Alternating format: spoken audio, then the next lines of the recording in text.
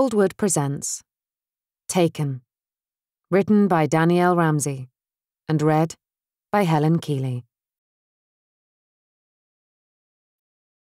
What loneliness is more lonely than distrust? Middlemarch, George Eliot. Minds that are ill at ease are agitated by both hope and fear. Metamorphosis, Ovid. Prologue. Thursday, 3:03 a.m.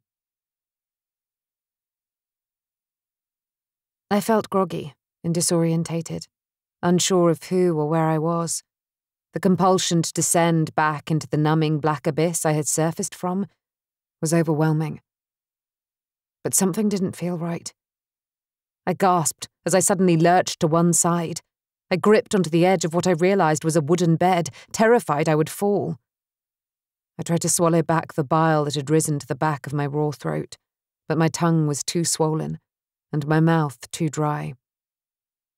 I struggled to open my eyes, but the explosion of fireworks in my head thwarted my attempt, the booming, throbbing, accompanied by strobing white lights making me cry out in agony.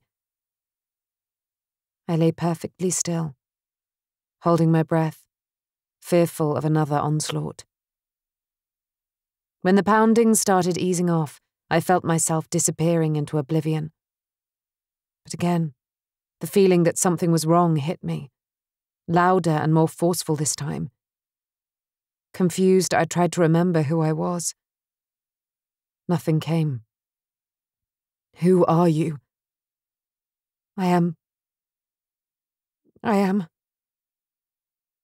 I couldn't recall. I tried to swallow. Again, failed. I forced myself to think, despite the flashes of searing white pain that tried to block my quest. But my mind was blank. I couldn't get the neurons to connect, to charge up and retrieve the information I needed. The electrical storm in my head had short circuited everything. Something had happened to me. Something terrible. But what? What had happened to me? What had happened to. Eli. The name came to me, calling out ever so softly, teasing me, tormenting me, terrifying me. Eli. Eli. Elijah. The room suddenly dipped to the opposite side as my stomach flipped in protest. I fought the urge to heave. Failing, I leaned over the bed and dry retched. Panting, I lay back against the pillow and wiped the spit from my lips with my hand, giving in to the exhaustion that swept over me. Then I remembered. Oh my God, Eli. His car seat was empty. He was gone. Oh God, no. No, he wasn't gone. He was on the bed. Remember? You crawled into bed to be near him, to hold him, to keep him safe. Groaning with exertion, I reached my hand out for him, fumbling around for the reassurance of his body next to mine. My stomach protested with every movement I made, as did my thumping head and feverish, aching skin.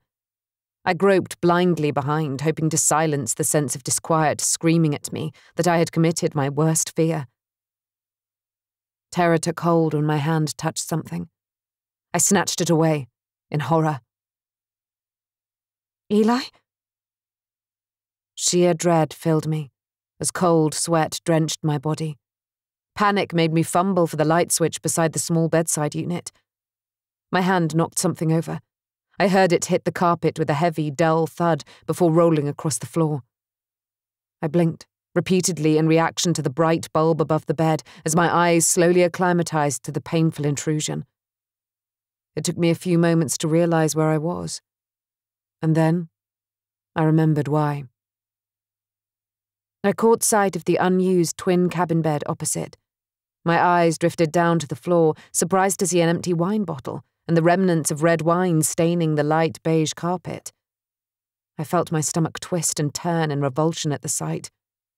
I couldn't remember drinking wine, but the bottle on the floor and plastic tumbler suggested otherwise.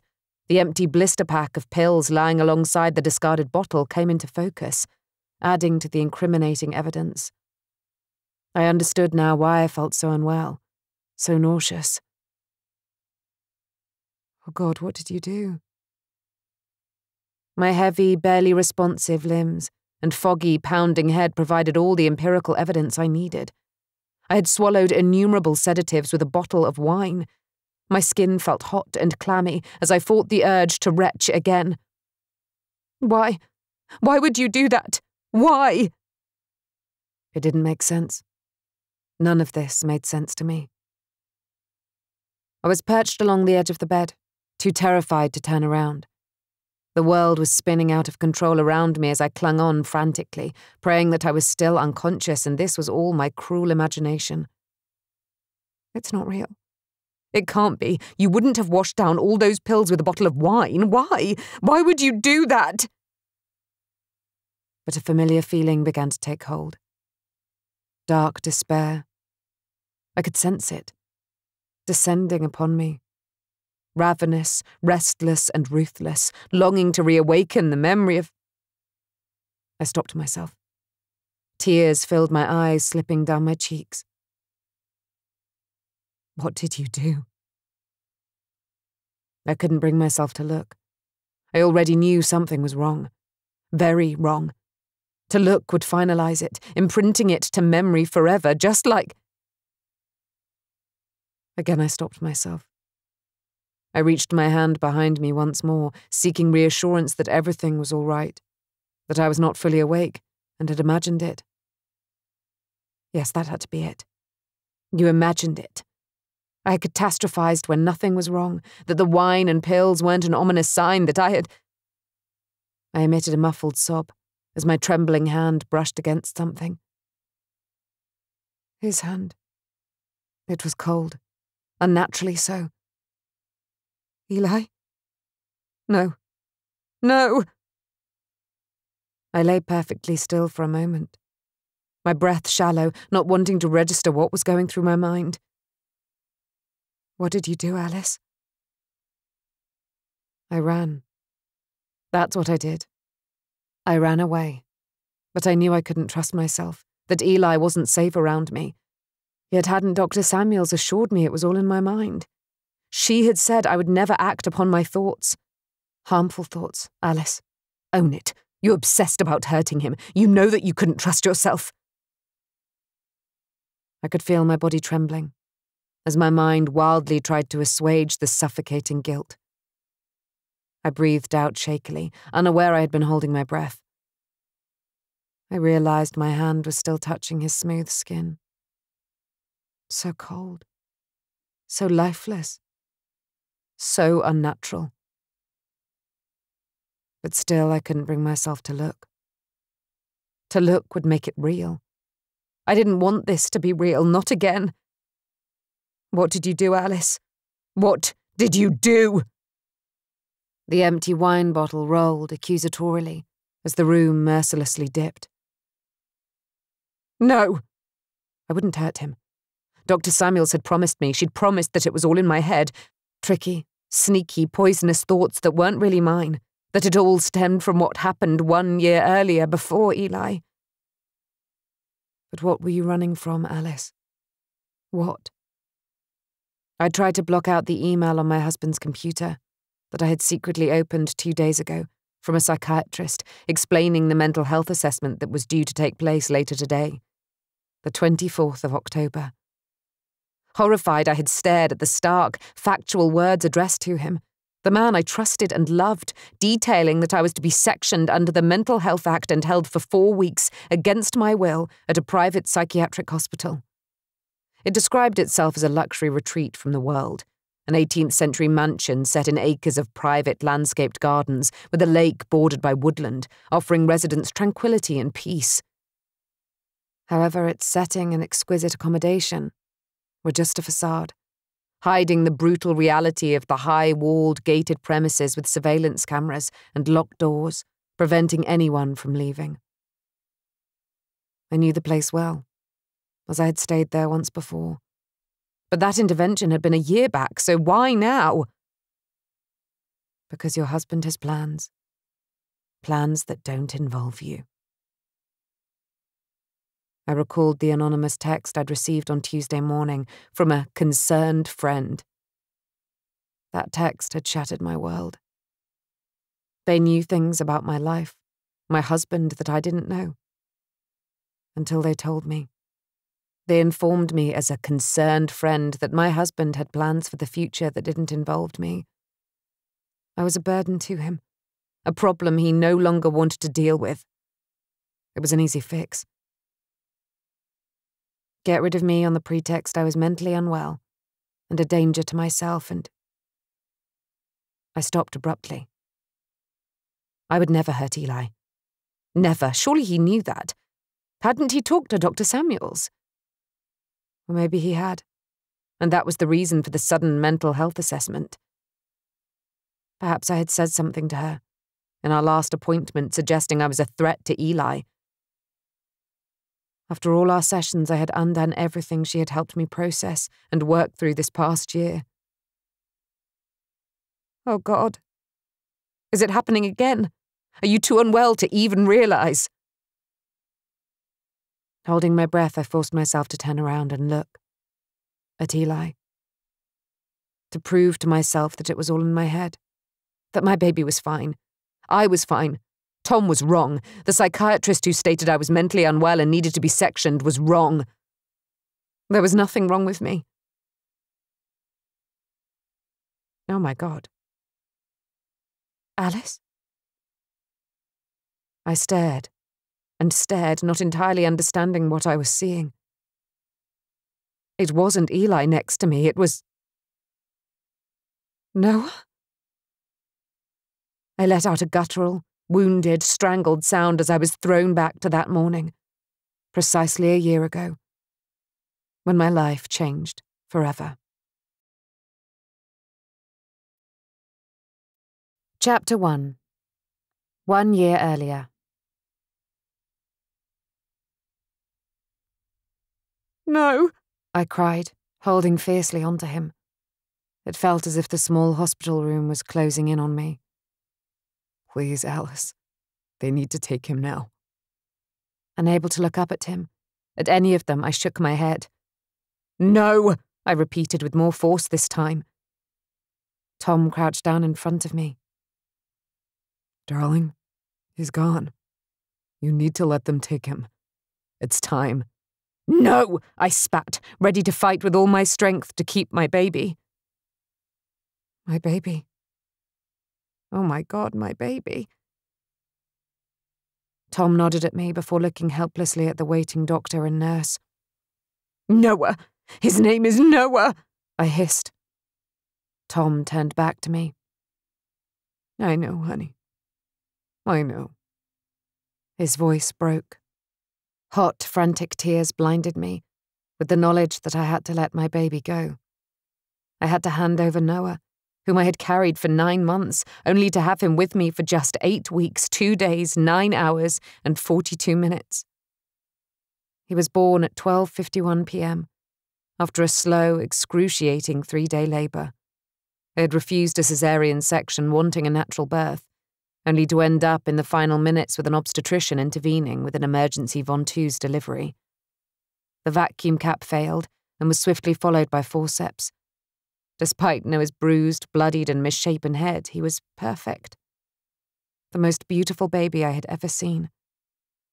And as I held his tiny, naked, newborn body against my flesh, I promised, as I stared into his mesmerizing, black, searching eyes, that I would never let anything happen to him no one would ever hurt him. I would protect him against everything and everyone. But you failed him, Alice. You broke your promise. Open your eyes, Noah. Please just look up at me. Please. Alice. Honey. But I couldn't bring myself to respond. I knew behind the calm, collected, controlled persona of the surgeon he was that Tom too was being torn apart. The cracked desperation in his voice betrayed him. But my grief was so overwhelming that I had nothing to give him, I barely managed to breathe as it was, without considering how my husband was feeling.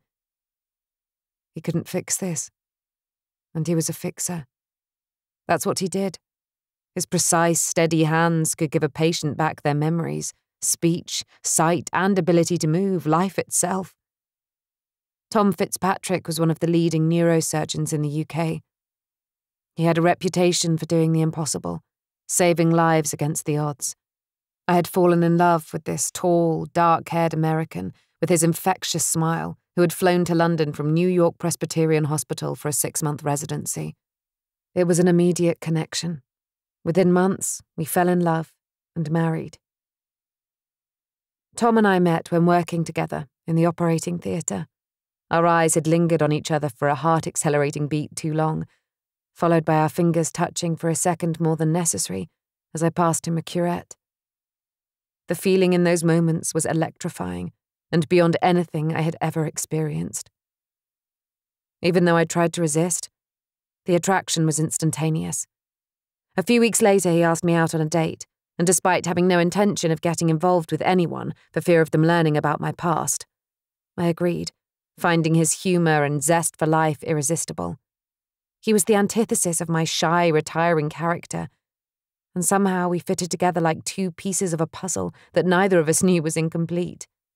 We balanced each other perfectly, yet we couldn't have been more different in all aspects from personality to background.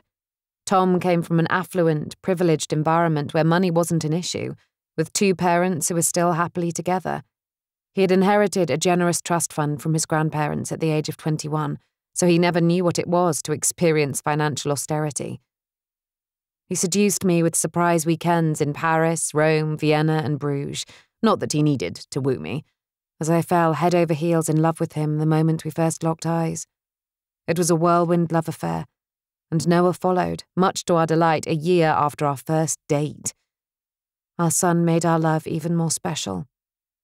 Now there were three of us. Tom, as I had, promised to protect Noah. After all, he was a surgeon and I was a theatre nurse. So how could it be possible that we, of all people, had failed our baby? How? But we had failed. Tom had failed. I had watched, paralysed with terror at the realization of what was happening, as my husband tried to save our eight week old son with chest compressions. He had failed Noah. He had failed me. Maybe if we hadn't travelled to the United States for Tom's interview at Massachusetts General Hospital in Boston, everything would have been all right. We were here because of Tom. He had been transparent when he met me, saying he did not intend to settle in the UK. He needed to return to the States. There was no other option for him. And I had agreed, so desperately in love, to follow him. Or was it that you were so desperate to outrun your past, to pretend it had never happened? Noah's arrival had changed everything. Rather than returning to New York City as Tom had always envisioned, he wanted to offer our son the idyllic childhood he had experienced growing up in the small coastal town of Marblehead, with his parents close by and Boston less than a 30 minute commute away. Massachusetts General also offered the world's most extensive hospital based research program, which clinched it for Tom. So we had flown across the Atlantic, the three of us, filled with dreams of our future in the States. Oh God, Alice, you should never have brought Noah here. You should never have tried to outrun the past. I gasped, unable to breathe. I couldn't go there. The guilt I felt was too crippling, and now I was paying the price. I had always feared it would catch up with me, as I constantly watched over my shoulder, waiting and anticipating something happening to tear us apart. And now. I brushed my lips against Noah's soft black hair and pressed his body against my chest willing him to move, to cry out, to show them, me, that we were wrong, that he was still alive. He had to be. God, please. But he was as cold and unresponsive as when I had reached over to wake him for his feed this morning. I had slept later than expected because he hadn't woken up as usual. Or had he and you hadn't heard him? Had you slept through his cries? Tom had left us both sleeping in the guest room of his parents' large house while he went out for his 10 kilometre morning run. When he returned, he showered and then breakfasted with his parents, leaving me to catch up on some much needed sleep. If only he had checked on Noah and you when he returned from his run, he might have realised something was wrong. But he didn't. If only you had woken up. But you didn't. If only you hadn't. I blocked the torturous thought out, choking back a stifled sob, terrified if I omitted it, the sob would become a scream that would never end. I sensed Tom standing up and stepping away. I then heard muted, low, and conspiratorial voices as Tom and the medical team huddled together, deciding how best to act. I didn't care what they said. I just knew that they weren't taking my baby away from me. I couldn't let go of him. Never. Raw, unbridled pain tore at me. I had never felt anguish this intense, this all consuming before, not even when. The memory was overshadowed by the present. I held Noah into me, not comprehending what had happened or why. All I knew was that it was my fault. If I hadn't fallen asleep, then my baby would still be alive. Why did you fall asleep breastfeeding him, Alice? Why didn't you place him back in his Moses basket? Maybe if you had, he would still be. I suddenly became aware of Tom leaning over me. Get away, I warned. Get away from me! I couldn't let him take my baby. Noah needed me. He was so tiny, so helpless, it was my job to protect him. But you didn't protect him, did you? What happened, Alice? What happened to Noah? Why didn't you keep him safe? My chest tightened as I struggled to catch my breath, to breathe in enough oxygen to stop myself from suffocating in this claustrophobic space.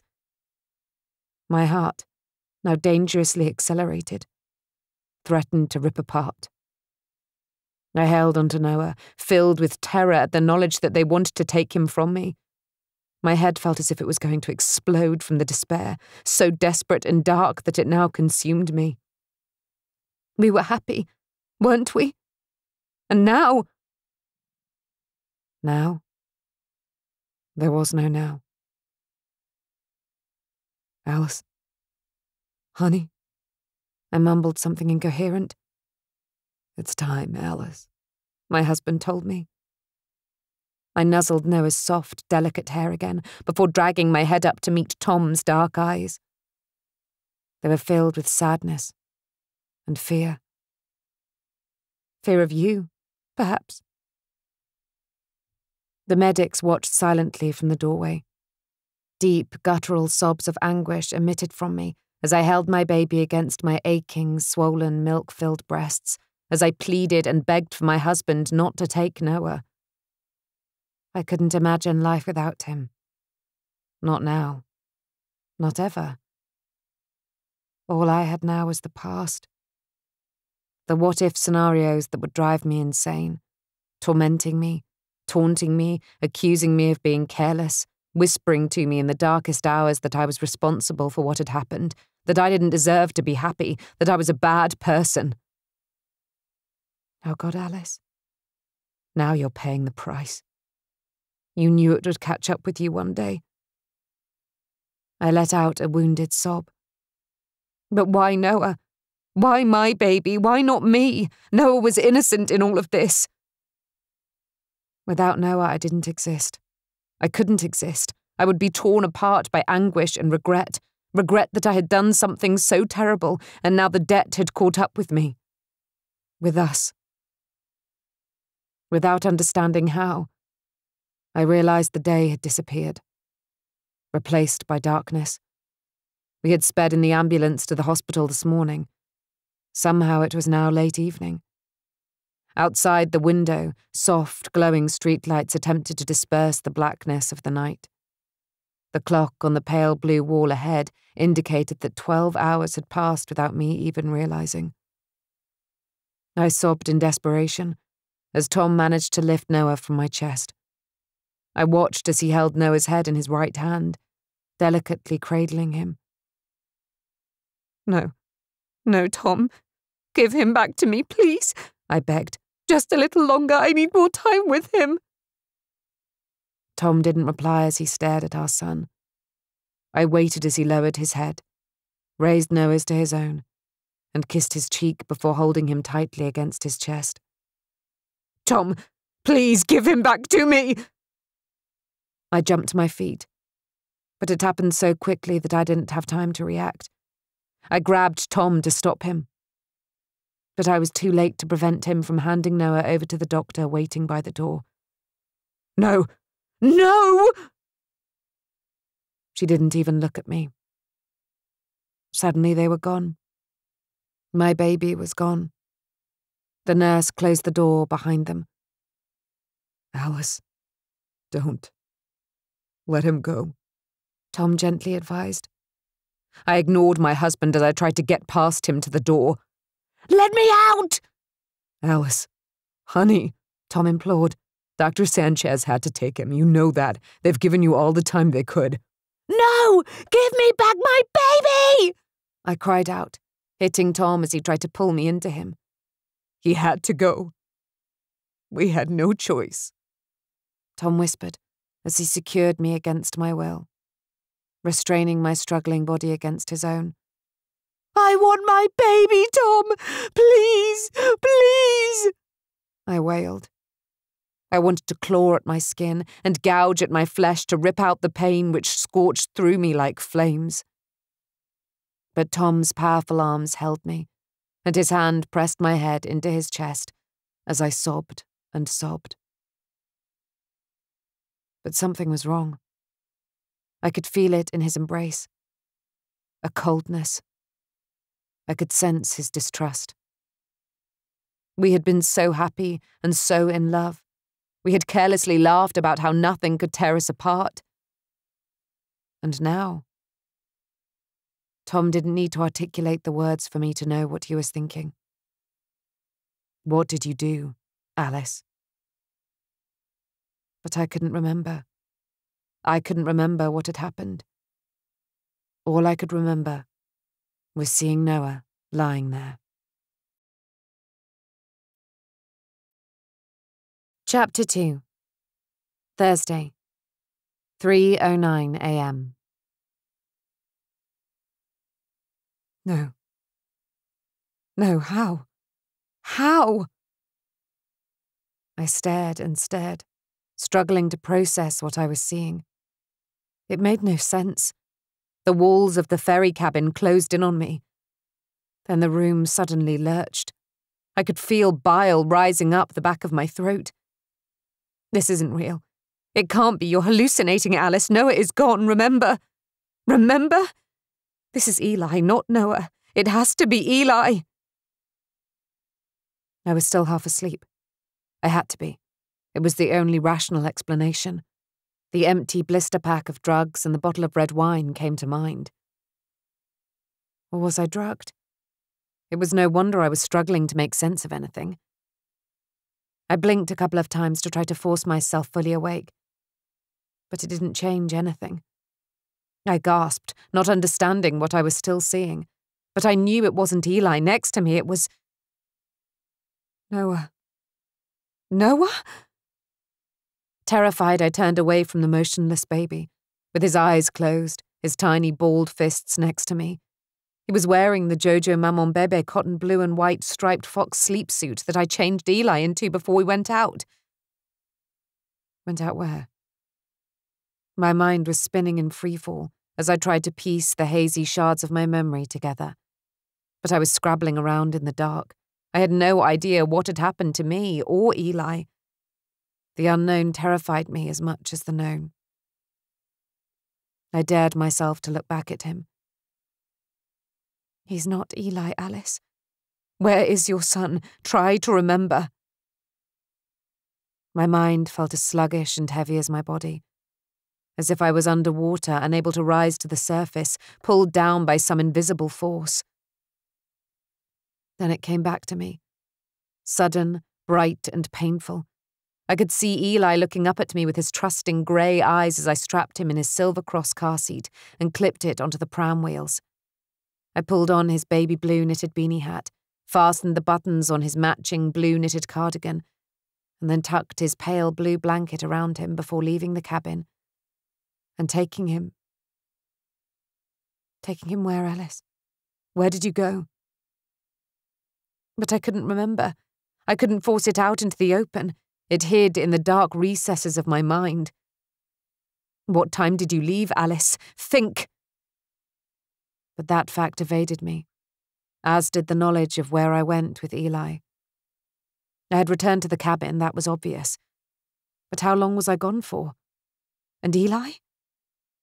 I stared at the baby lying on the bed wearing Eli's sleep suit, horrified. I took in the familiar features. Noah? The last time I had seen Noah was when he was taken from me at the hospital, exactly a year ago to this day. Tom had lifted him from my chest and held him, staring down at our son's unresponsive face before kissing him goodbye and handing him to the waiting medics. I jumped up to stop them, but it was too late. They had conspired to take him from me, refusing to give in to my grief, my primitive instinct never to let him go. And yet here he was, lying next to me on the bed. Alice, stop it. Stop it. This isn't Noah. It can't be. It's all in your head. I reached out, fingers trembling, and touched the hair. Noah's velvety soft baby hair. I let out a strangulated sound as I snatched my fingers away in surprise. I hadn't expected him to be really there to be tangible. I was certain I was dreaming, or worse, hallucinating. I squeezed my eyes shut against the insanity of what I was seeing. But Noah's beautiful, peaceful expression, his black, thick, fluttery eyelashes resting against his pale skin, flooded my mind. I could see the tiny white milk spots on his perfectly shaped button nose, even the fine, fuzzy peach hair on his cheeks and forehead, stubborn remnants of the lanugo that had covered his soft newborn skin. This wasn't Eli's face. It was his brother's. Noah. But how? A sob escaped from deep inside me. How is this possible? You came back to the cabin, Alice, but what happened to Eli? Where did you go with Eli? I couldn't remember. So much had happened since I woke up to the message on my iPhone on Tuesday morning that changed everything. Panicking, I turned and fumbled around on the small wooden bed unit for my mobile. I yanked it from its charging cable and looked at the screensaver. Eli's face stared back at me those dark grey, contemplative eyes looking up at me, searching my face for answers. But I had none. The time took me by surprise. 3:11 a.m. How was that possible? How had I lost so many hours? I noted numerous missed calls and voicemails from Tom that began after midnight, but my phone was on silent. I couldn't remember doing that. But I couldn't remember most of the evening. I imagined that Tom's discovery of my disappearance with Eli would have thrown him into a state of abject terror. He would have returned home, exhausted after being in surgery for over 12 hours, to the shocking discovery I was gone. I had taken Eli and the car and left, leaving no explanation of where I was heading or why the texts. Countless texts from Tom, a withheld number also repeatedly called before leaving a voicemail message. The police? A cold shiver embraced my body. No, not Tom. Not my husband. Surely he wouldn't have reported me to the police. Eli was my son. I had every right to take him if I wanted. Admittedly, I hadn't told Tom of my plans. Equally, he hadn't confided in me the mental health assessment that was scheduled to take place today, with two psychiatrists and a social worker, after which I would be sectioned against my will. I would lose everything then. For I knew that Tom wouldn't be waiting for me when I was released four weeks later. If I was released. He would be gone with Eli. But now I was the one who had disappeared with our son. I let go of my phone not wanting to find out if Tom had called the police. Not that they could do anything. I was well beyond their reach now. I forced myself to look back down at the baby wearing Eli's sleep suit. The baby who looked identical to Noah. How? This isn't real, Alice. It can't be. You need to remember. Memories started to come back to me sudden and forceful, making me gasp. I had felt really unwell and discombobulated, as if my body didn't belong to me. When I came back to the cabin, I felt so ill that I struggled to make it to the small ensuite bathroom in time, before being copiously sick. My legs had given way, and I had collapsed on the floor with my head over the toilet bowl. I was aware of passing in and out of consciousness, unable to move my body, let alone call out for help. How long for, I couldn't say. During that time, where was Eli? You left him in the car seat attached to the pram. Remember? Yes. Yes, he was safe. I swallowed as I tried to tug at the delicate thread attached to the memory, fearful of breaking the tenuous connection but I had no recollection of unclipping him from the car seat and laying him on the cabin bed. Was that before or after you swallowed the pills back with a bottle of wine? The thought hit me hard. Why would I take all those pills with alcohol? They weren't just any pills. I recognized the blister pack as the medication prescribed by Dr. Samuels for my insomnia. I had thrown my medication together, unsure of how long I would be away. I was already taking 10 milligrams of diazepam four times a day to reduce my anxiety. To add what appeared to be 80 milligrams of temazepam into the mix was dangerous. I was prescribed 40 milligrams a night as my body was now unresponsive to the original dose of 20 milligrams. And the wine? I knew not to drink alcohol with the temazepam. I knew that if I took more than my prescribed dose or drank alcohol, then I would fall into such a deep sleep I wouldn't hear Eli. And that was my fear that I wouldn't hear my baby cry out for me. Worse, I could end up never waking up. So why would I do that? I would never use temazepam when I was on my own with Eli. Not after what happened to Noah. I choked back a sob as the image, imprinted in perpetuity in my mind, of Noah lying lifeless, suddenly assaulted me. He had been so frighteningly peaceful that I instinctively knew something wasn't right. Why I would take the remaining four 20 milligram tablets in the blister pack was beyond me. But it would explain my dry mouth, dizziness, and confusion. Unless it was intentional. What happened, Alice? What happened to Eli? Why did you want to overdose? What did you do? Eli? I whispered, staring at the sleeping baby lying on the bed. Confused, I looked across at the Moses basket, parallel with the cabin bed wall for stability. I didn't understand why I hadn't laid him in his basket. Why had I wanted him next to me when I was terrified of him overheating or suffocating in bed with me?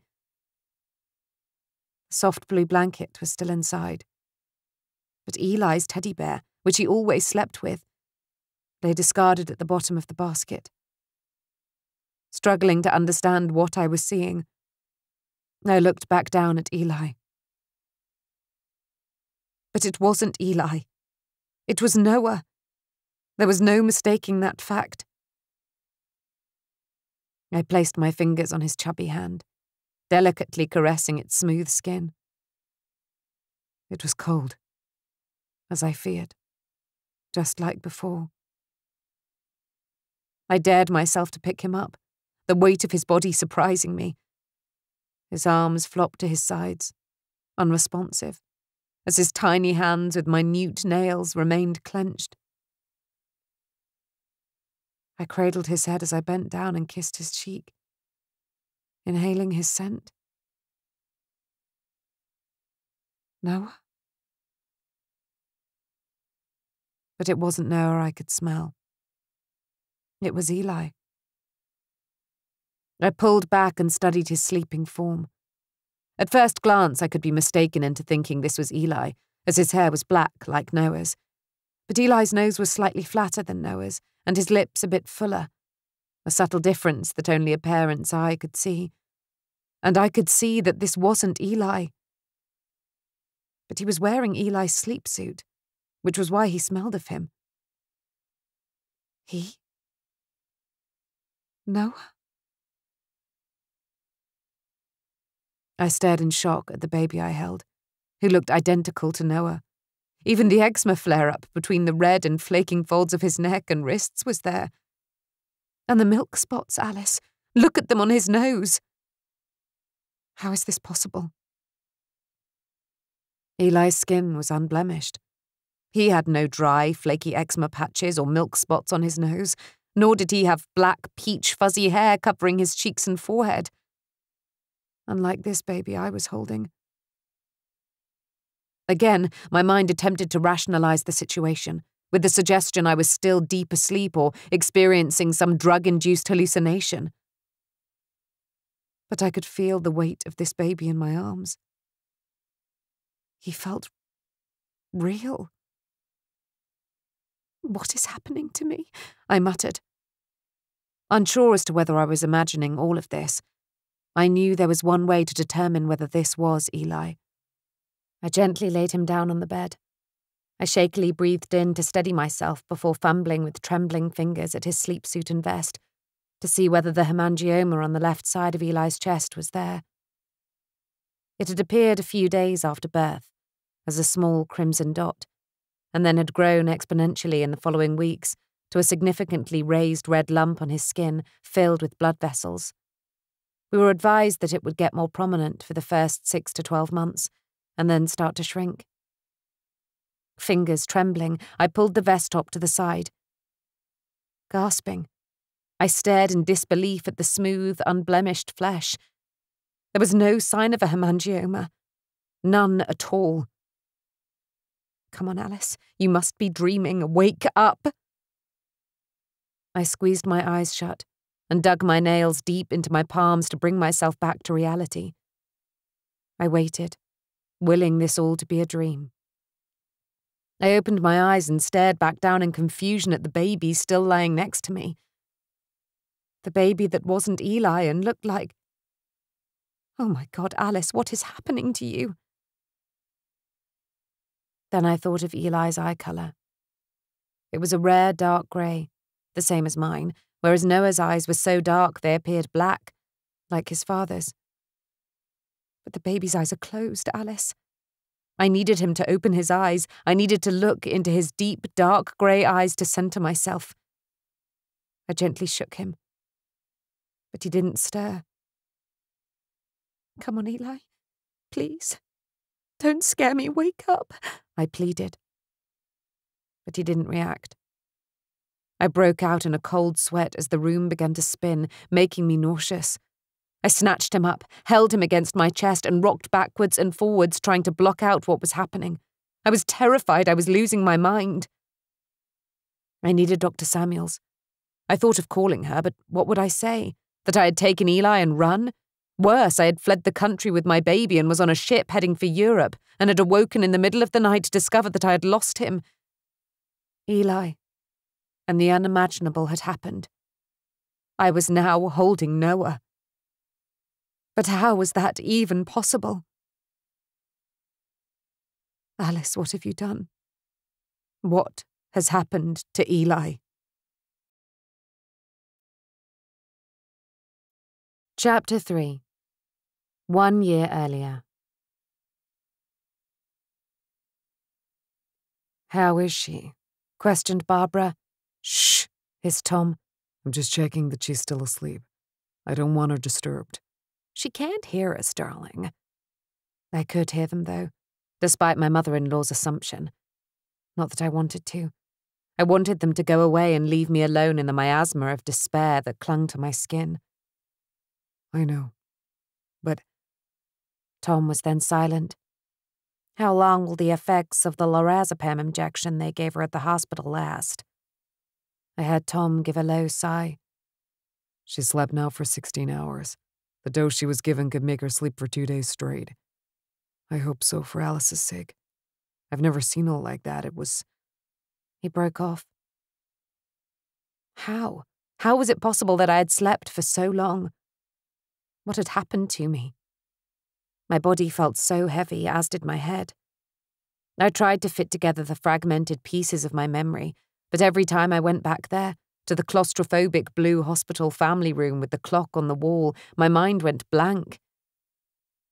Beyond the blue room, some unspeakable truth lurked, waiting to destroy me, to take what was left of me.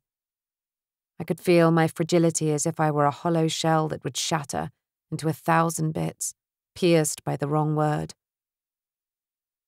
Shouldn't she have stayed in hospital so that they could monitor her? Asked Barbara. I opted to discharge her. I know, Alice, it would be the last thing she would want. She needs us, and she needs somewhere safe. His Moses basket and other things, though? Don't you think that will distress her when she wakes up? I don't know. All right, I've never been in this situation. All I know is I lost my son yesterday. I'm trying to keep it together for you and Dad, and especially Alice. She'll need all the support she can get when she finally wakes up. Christ, Mom! This. this doesn't happen to people like us. I mean, Noah was so well taken care of, so loved. How? A painful silence followed. I gasped as searing white pain tore through me, as the memory of what had happened to Noah, my baby, came back to me. I waited to see whether they realized I was awake, even though I couldn't move my body or open my eyes. Not that I wanted to be conscious. Not here. Not now. Not ever. Not without. Noah. Without Noah, what's left for me? Oh, darling, I wish I could say something to make it right, Barbara whispered. I. I just don't understand it either. I mean, there'll be an investigation, surely, so we'll have answers.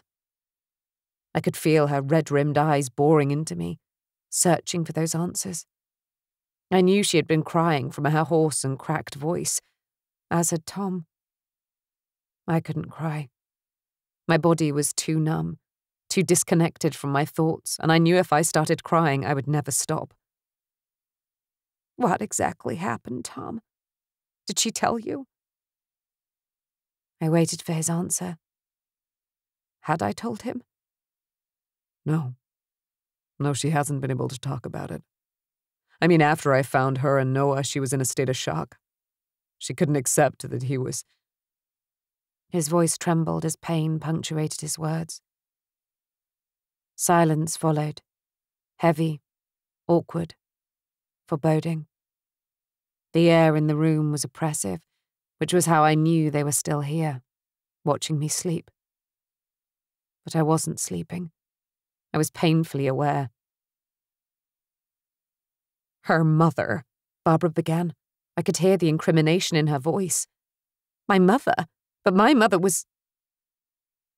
A stab of betrayal coursed through me. I realized my brother, Ollie, must have said something to Tom. But when? Or had I said something? I couldn't recall. But why had Tom shared something so private, so personal with his parents? Do you think what happened? No.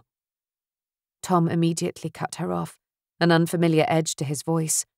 I'm just pointing out the obvious, she retaliated. I should never have told you, Tom muttered. Well, it's too late for that. I still don't understand why. Why what? Tom questioned. The rush! You and. She faltered as if she had said too much. Again, I felt her eyes burning my skin, peeling back the layers, searching for the unspeakable. You had everything here, Tom. I'm still struggling to come to terms with your decision to go back to the UK. Then to marry Alice so quickly, and as for Blair, don't, Tom snapped. Alice doesn't know about her, does she? Barbara questioned, surprised. I wondered why you have been so on edge since you arrived. I tried to recall how long we had been here. I only remembered arriving on Monday afternoon at Boston Logan International Airport. The late October sun had been so intense it had momentarily blinded me when I'd stepped outside. The white rays had caressed my skin, filling me with joy and hope of a new beginning for the three of us. And now, Alice, there's only two of you. I was terrified to travel. I'd feared that the plane would crash over the Atlantic Ocean, plummeting into the deepest and darkest waiting water, never to be found again. Taking everything from me. But we had somehow survived the non stop seven hour and 45 minute flight from Heathrow to Boston. I didn't question how or why. I just took it as a sign that I had outrun my past. I now had a future with my husband and baby son on a different continent. I couldn't have got further away from her if I had tried but it was all lies. I had been cruelly fooled into believing that I had escaped. Noah? Noah? He's gone, Alice. I blocked the thought. Tom's parents, Barbara and William, had met us and taken me into their embrace and their brilliant lives as if I had always belonged. The car journey back to Marblehead had passed in a blur of excitement as the promise of new beginnings enchanted us. The Fitzpatrick's son had finally returned to them, bringing with him a wife and much anticipated grandson. I had been seduced into believing that this new world was safe. When the following morning had arrived, the dazzling sun had reached through the guest bedroom's glass doors to the veranda, which overlooked the tennis courts below and the Atlantic Ocean beyond, fooling me into believing everything was perfect if only for a second. For that was all it took for me to realize that it was all lies. That something was wrong. So very wrong. And that was when? Only yesterday morning.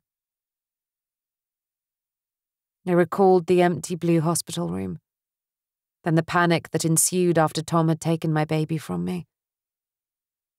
I was inconsolable unable to cope with the anguish of being separated from Noah.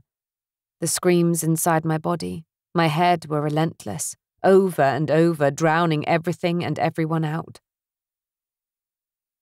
Sixteen hours, Tom had said. Sixteen hours when I had no recollection of Noah. Their voices infiltrated my thoughts again. She didn't need to know.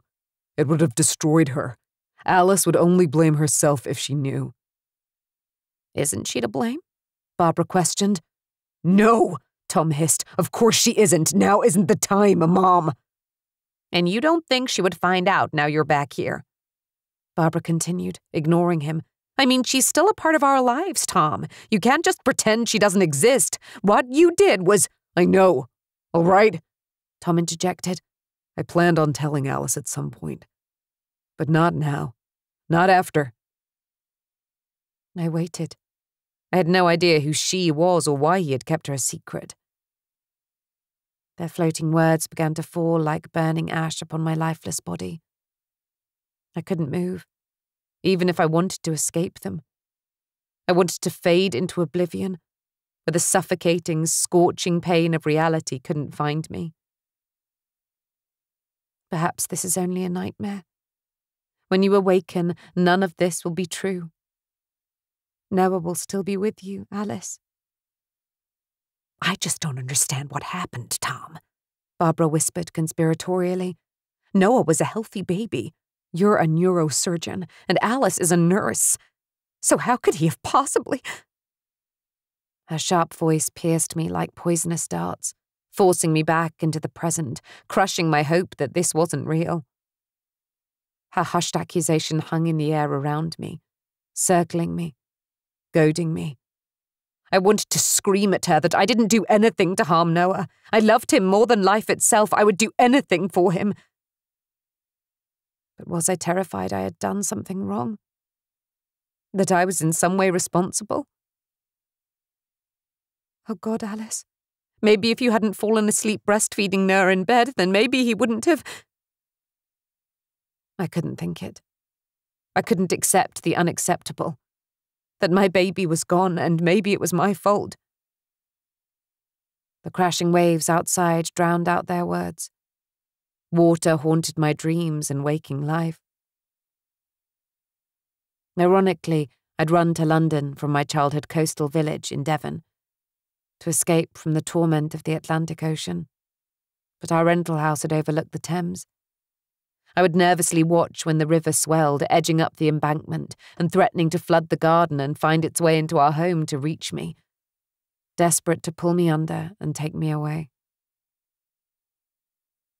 I thought of her, my mother. Even here in Tom's beautiful hometown of Marblehead in Massachusetts. I couldn't escape her. My past had caught up with me. I could hear the ocean pounding against the rock face beyond the Fitzpatrick's tennis courts. We hope you enjoyed this preview. To continue listening to this audiobook on Google Play Books, use the link in the video description.